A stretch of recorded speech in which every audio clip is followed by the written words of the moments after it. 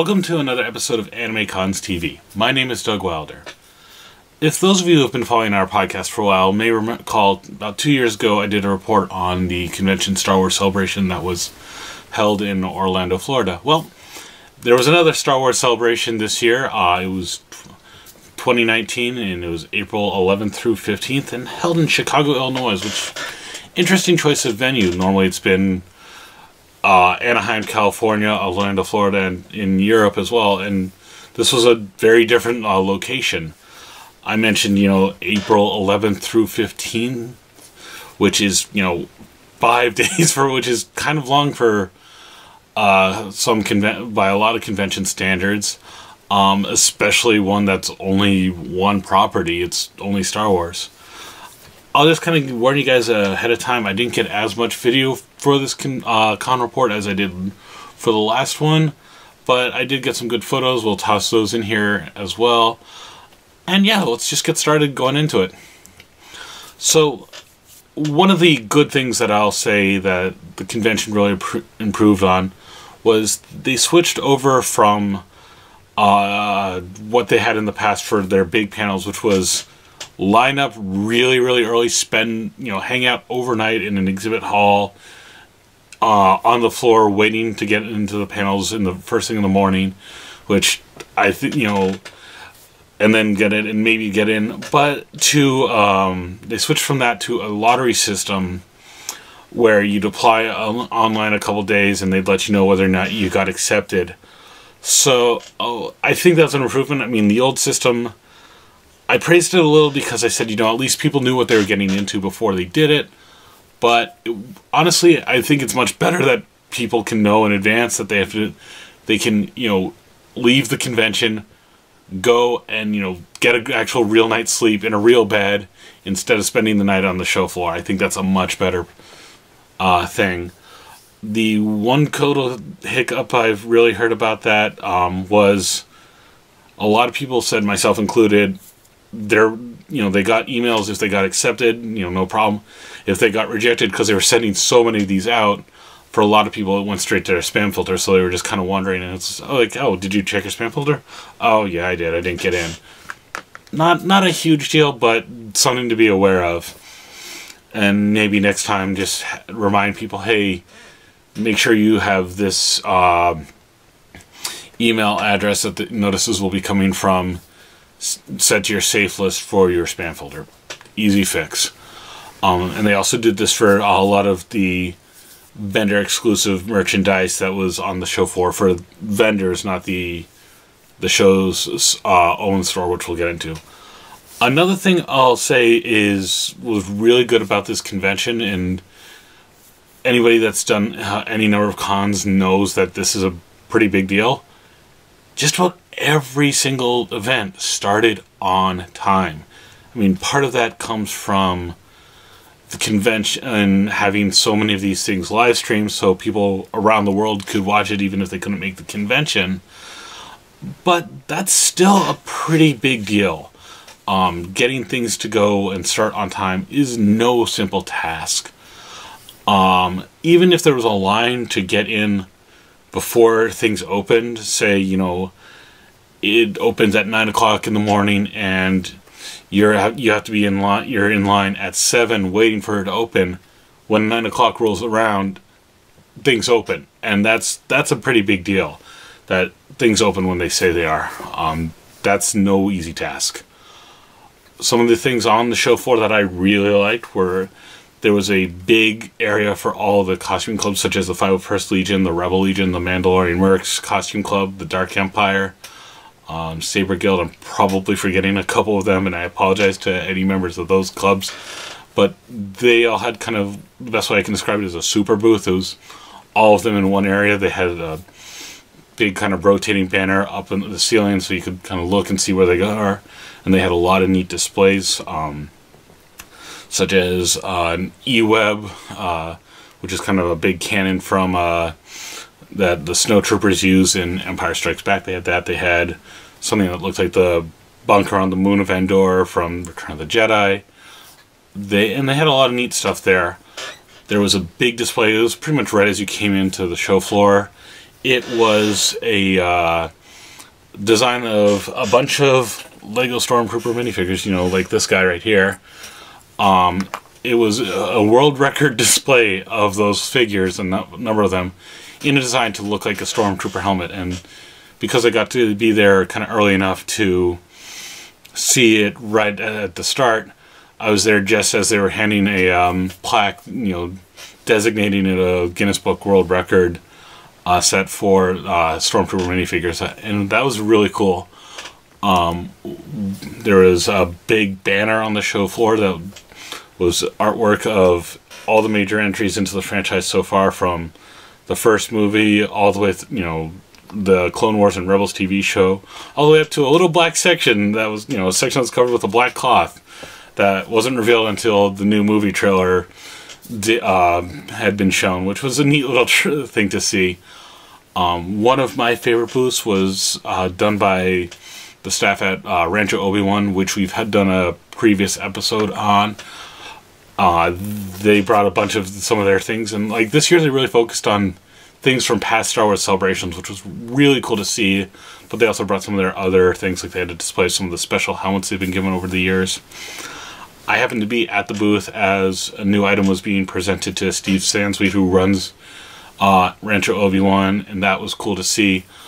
Um, one of the things that I thought was really fun is they were, you know, they were selling some stuff like just some merch to raise money for the store and stuff. But he, there was a new book about some of the more unusual uh, fan items that they had been donated over the years, um, and they basically they had a thing that any purchase you make, like for a book or something, you know, you could just walk up to uh, Steve Sansweet. He had a very, very small line, like maybe five people in front of me, um, and he would sign it for free, you know, as long as you bought something. Which this book, which was a nice hardcover book, um, not you know not too thick, but it was only like eighteen dollars, which for a lot of the merchandise at Star Wars Celebration for you know a pretty unique item, given what else is there that was a really good price and being able to get it personalized for free that to me was a really cool item and it it's sometimes really neat to say this is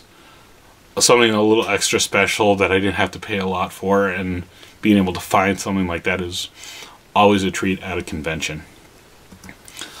So another, as I mentioned, the panels were a big demand, like the big premiere panels. Uh, my girlfriend and I were lucky enough to get uh, win the lottery and go to the episode nine panel, premiere panel, which of course amazing to be at and be in the room as the trail, you know, for the world premiere of the trailer. Um, they did some really interesting stuff for line. It was you know in the arena across the street from the convention center, so you, you had to go outside and as we would find you know find out Chicago in mid April is still a little chilly, but for people in line, they were giving away uh, winter hats that had the, just the episode or, uh, Roman numeral for nine on them you know Star Wars font to help people keep warm. They were also had like uh, McDonald, a McDonald's like trailer truck setup that was just giving out Happy Meals, and these were, I kid you not, Star Wars Celebration branded Happy Meal boxes with like a, it was a, just a hamburger, not even cheeseburger, hamburger um, and apple slices and some fr- warm fries, you know, in there and just keep people warm. But uh, the line kept moving, so you barely even needed it. But it was in still a neat little treat, and because you're going to it, it adds to this experience. Um, I will say this: uh, the MCs that they had working the crowds were pretty good. And one of them was Warwick Davis, who he just needs to be MC for everything because he's such a great host. He really knows how to engage the crowd. The only thing that downside I would say there is maybe avoid to all the MCs and maybe avoid you know asking the audience trivia questions. It seems neat, but there, you get a lot of people who either get stage fright or think they're going to be clever, and it just kind of derails a little bit. But just talking to people or like to bring up Warwick Davis again, he just kind of responded to uh, questions that had been submitted to him with a hashtag on Twitter and he was he was great at that. The panel itself was phenomenal. It was neat to see uh, pictures of some of the things that they were starting to reveal. One of my favorite uh, moments of this panel, though, was being in the room when Kelly Marie Tran, who had been kind of bullied online for stupid reasons about The Last Jedi, she came out, she was announced, and the whole room gave her a standing ovation. And, you know, after everything she's been gone through, seeing fandom, you know, realize, hey, we're better than this. We're not these jerks. We're not the trolls on the internet. We're better than this. And be kind to her and was so meaningful. Um, and even after I was walking on the, in the halls of the convention center later on, I heard people talking about that that moment, and just hearing fans say, "Yes, this is what this is how we should be representing ourselves. These are you know we're we're better than this." Was really cool, and I think this is uh, something we need to hold on to. And I think being excellent at people, even if they are a celebrity, I think is a great thing. The one thing I'll say that was kind of a down, um, a bit of a negative of the episode nine panel is so we did the lottery. Um, we were emailed a QR code for checking in to prove that we, you know, are lottery winners and stuff, and we had to either bring you know bring a printout or have it on our phone ready to go. Um, they never scanned it, and which is kind of weird that you think they didn't. They looked to see if we had it, sure, but they never scanned it. And, you know, some people, I'm sure, as soon as they said, wait, they're not scanning it, could have just forwarded that email to their friend, and their friend could have pulled it up on their phone, and they could have easily gotten in. I don't know if that got fixed later on, but it seemed like for something that was such a big deal, they should be doing that, and I'm, I'm not sure what happened there. Um, so I mentioned exclu- you know merchandise and stuff, and there's no shortage of vendors selling you know Star Wars everything because Star Wars is a marketing machine. But they had the lottery system first, uh, some of the exclusive merch and stuff like that. Um, you know, vendors on the show floor that you know maybe got an agreement or just decided that hey, we're gonna unveil this new special thing or it's gonna be a convention exclusive only at Celebration. We're gonna uh, debut here. They did a lottery system for that, but there's also stuff that you could just find. I think the best way to approach that was don't get your hopes up. If there's something you really want, you may have to either wait in a long line because everyone else wants it, except that you just might not be able to get it. Um, some vendors just kind of okay, everyone the lottery's over now. It's just willy nilly and release you know release the floodgates and turns into a stampede, which is frankly, for lack of a better word, stupid. But if you just kind of turn it into serendipity, it was really a better way to do it. A friend of mine asked if I could keep an eye out for some of this uh, celebration exclusive um, Geeki Tiki uh, mugs that they're doing. And the way we kind of worked it out is I just kept an eye out, and if I saw it, I text him, "Hey, I saw this one exclusive that's available right now. I can grab it. There's no line. Do you want me to pick it up?" And he texted me, "Yes, please pick it up." And he PayPal'd me right away, so I wasn't having to worry about being paid back. And we both knew that I wanted never promised to him anything, but uh, other than taking a look, and it would turn it into a bit of a scavenger hunt for me, which was fun. Um, that said, then there's the issue of the Star Wars Celebration store, like the conventions store. Um, you guys might remember that when I went to it in Orlando, it was not a good experience. I spent like four hours in line uh, to do it, and I had a little bit of better luck this year, kind of. Um, the friends that I went into uh, the convention with, like, okay, we said, okay, this time we're going to make a beeline straight for the store as soon as we get in. Not going to do anything else, just go. Well, we tried to do that, and we had another friend with us who went to go just get an um, a special needs bracelet. Um, ahead of us, they said, "Well, we'll catch up with you later," and we said, "Sure, you know, no problem." They got into the convention before us. Uh, they made a beeline for the, the celebration store, and we said, "Cool, we'll meet you there." Um, and then we the, the main line finally lets in, and the line for the uh, official store has already been kept okay, well, what do we do now? So we text our friend, what's going on? Our friend's already in there and says, yeah, um, just tell us, tell me what, tell me what you want and I'll just take care of it. Okay, cool, that's what we'll do. And, well, Three and a half hours later, our friend finally gets out of the show store line and has picked up everything.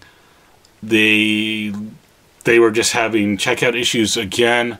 So our friend just kind of kept saying, you know, do you know of anyone else that needs me to pick up stuff? What I'm just sitting here, I can just do it. Um, so we ended up talking to a couple other friends and kept updating the list because they just were stuck in the store and just grabbing more more things. Apparently, this is rumor mill. I don't know for sure, but apparently part of the reason the show store line was so long slow all the registers, which I'm told is a, I think if I remember correctly, about 25, 30 registers, uh, we're all running off of the free in-house Wi-Fi in the convention center. I don't have confirmation of that, but if that's the case, that's pretty bad.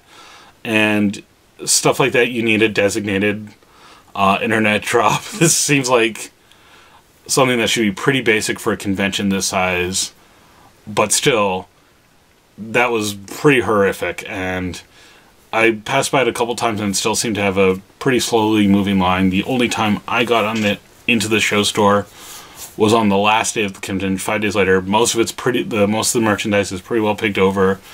I think I got a couple of other things, but it's it's really bad. And I know again, it's it's Star Wars. It's marketing machine and all the special convention exclusive merchandise from that says you know Star Wars Celebration Chicago 2019.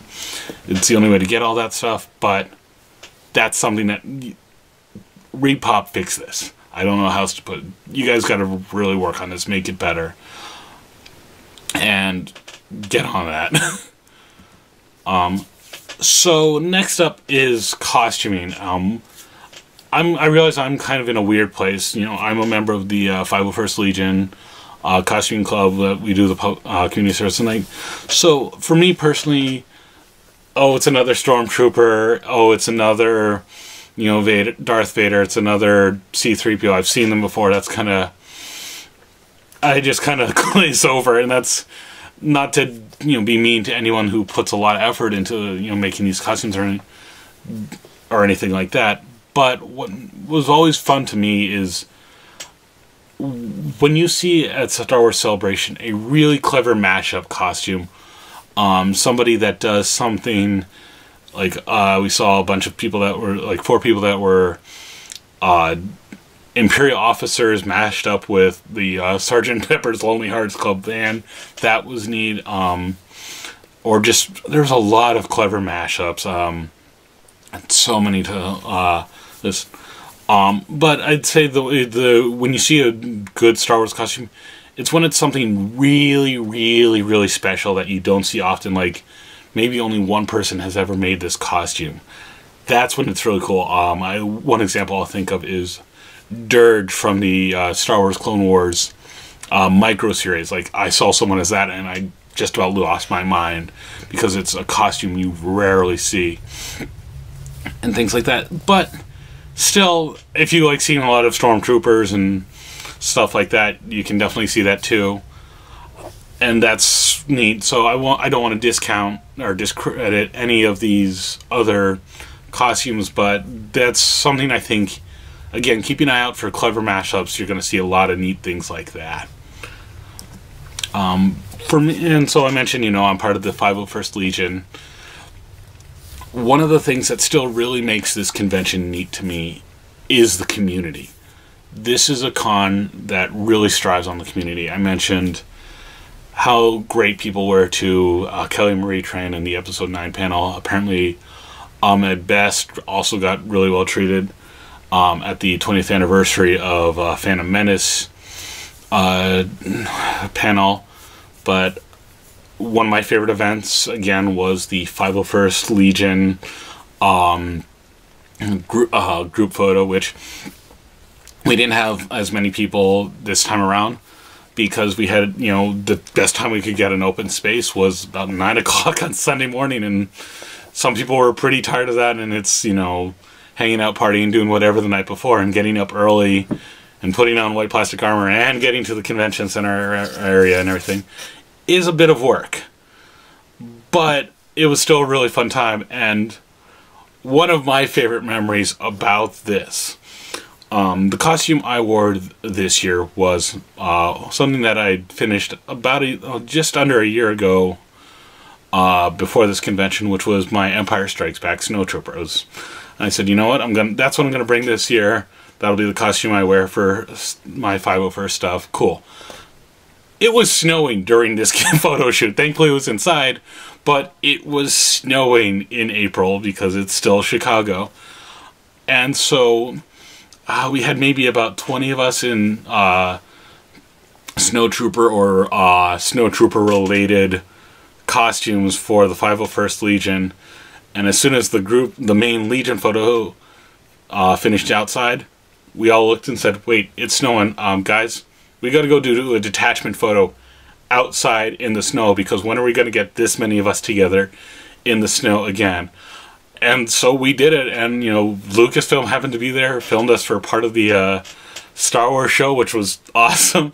And you know, the community about that was great because we joked, oh, someone's going to be like, oh, I don't want to mess up my weathering or something like that. No. Everyone's like, yep, we're doing this 100%, and we just booked it. And it was so funny hearing other members of the 501st Legion uh, kind of looking at us like, oh, of course, you know, yeah, there go the snowies. They're, they're going to go play in the snow. They're crazy. But it was a great photo. It's a fun memory. I'm going to look at that down the line. Of course, 501st Legion and everything they love doing patch and coin trading.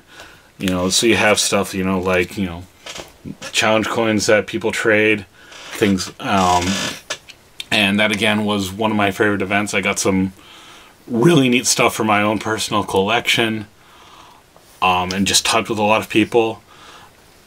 I got, um, I met someone from another garrison that had a crocheted Grand Admiral Thrawn themed Lothcat, which is a very deep cut if you're not like in the thick of Star Wars, but it was really neat. And I just you know kind of said, "Hey, is that is is that an Admiral Thrawn Lothcat?" And they, uh, she told me, "Yes, it is.